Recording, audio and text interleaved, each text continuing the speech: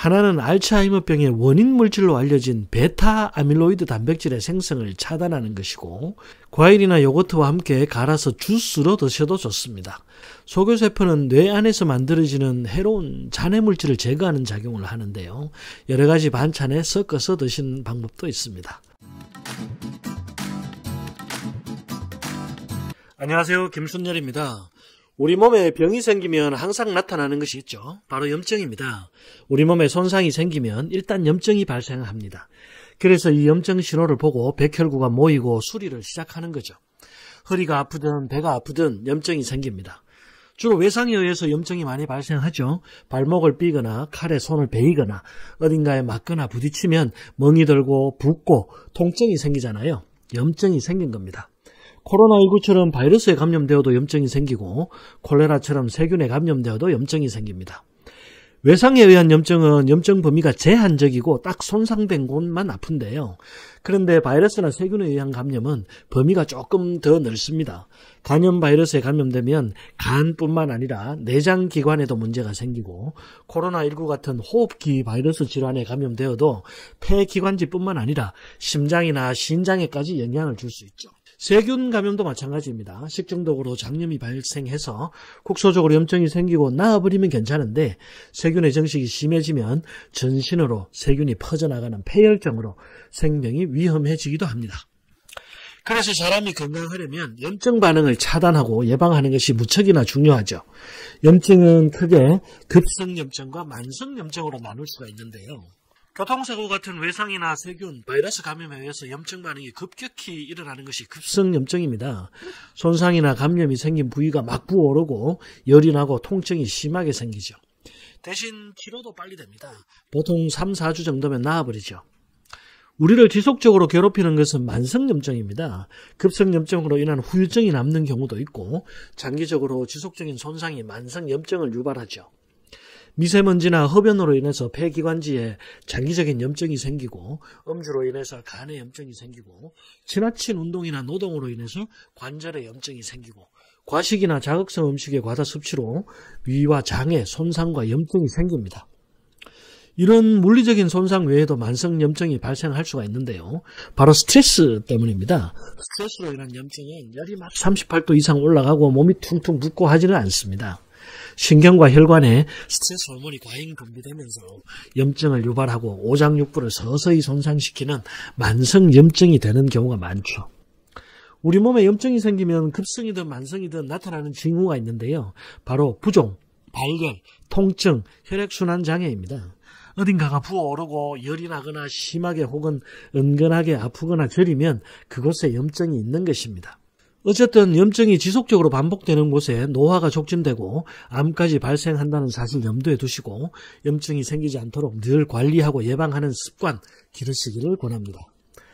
오늘은 염증을 제거하는 백색 가루에 대해서 알아보려고 하는데요. 제가 오늘 소개해드릴 가루는 바로 마입니다.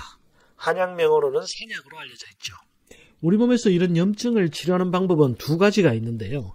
하나는 면역세포들, 즉 백혈구가 출동해서 고장난 세포를 제거하고 침입한 세균이나 바이러스를 잡아먹고 독소를 중화해서 염증을 치료하는 것이고요. 또 다른 하나는 부신피질 호르몬이 분비되는 것인데요. 부신피질 호르몬은 스테로이드 호르몬이죠. 남성 호르몬, 여성 호르몬 같은 성 호르몬도 스테로이드 호르몬이고요.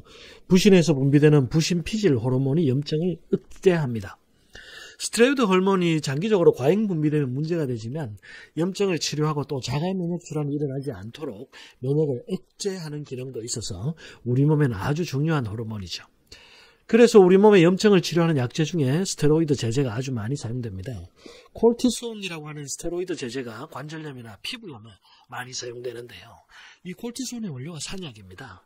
야생 마에서 추출한 콜티코스테로이드가 주 원료가 되죠. 그래서 우리 몸에 여러 가지 염증이 생겼을 때 말을 복용하시면 효과가 있는데요. 급성 염증에는 크게 효과가 없습니다. 약성이 그리 강하지 않기 때문인데요. 장기간 지속적으로 복용하시면 만성 염증의 예방과 치료에는 크게 효과를 볼 수 있습니다. 산약의 성분 중에 디오스케린이 있습니다. 이것은 DHEA의 전구 물질인데요. 성 호르몬을 생성하는 원료가 됩니다. 그래서 마가 성기능 향상에도 효과가 있는 거죠. 또 말을 만져보면 끈적끈적한 점액이 묻어나오는데요. 이것이 뮤신입니다. 뮤신은 당 단백질이죠. 위염이나 위궤양을 치료하는 물질로 알려져 있고 소화 기능도 높습니다. 또 많은 인슐린 분비를 촉진해서 당뇨병 예방에도 효과가 있고요. 콜린도 많이 들어있어서 건망증과 치매를 예방하는 데도 효과가 있습니다. 콜린은 두 가지 방법으로 알츠하이머 치매를 예방해 줍니다. 하나는 알츠하이머병의 원인 물질로 알려진 베타 아밀로이드 단백질의 생성을 차단하는 것이고 다른 하나는 소교세포의 지나친 활성화를 억제하는 것입니다. 소교세포는 뇌 안에서 만들어지는 해로운 잔해 물질을 제거하는 작용을 하는데요. 너무 많이 발현되면 오히려 염증과 뇌신경세포의 손상을 유발하기 때문입니다. 콜린은 계란, 우유, 방울 양배추, 메가, 닭의 간, 목초로 사육한 소의 고기 등에도 풍부하니까요. 참고하시면 좋겠습니다. 이외에도 많은 신경통, 요통, 근망증, 시력장애, 만성신장염, 콜레스테롤 제거, 피부 미용 등에도 효과가 있습니다. 염증을 제거하는 음식으로 마 외에도 레스베라트롤, 커큐민, 이지시지, 퀘스틴, 불포화지방산을 포함한 여러 가지 음식들이 있으니까요. 저의 지난 영상도 한 번 더 봐주시면 좋겠습니다. 말을 먹는 방법은 여러 가지가 있죠. 말린 말을 끓여서 차로 드셔도 좋고요. 과일이나 요거트와 함께 갈아서 주스로 드셔도 좋습니다. 또 마가루를 생강차나 대추차 등에 타서 드시거나 여러 가지 반찬에 섞어서 드시는 방법도 있습니다. 죽을 만들어 드셔도 좋고요. 마를 토막 내서 마밥을 만들어 드셔도 좋습니다.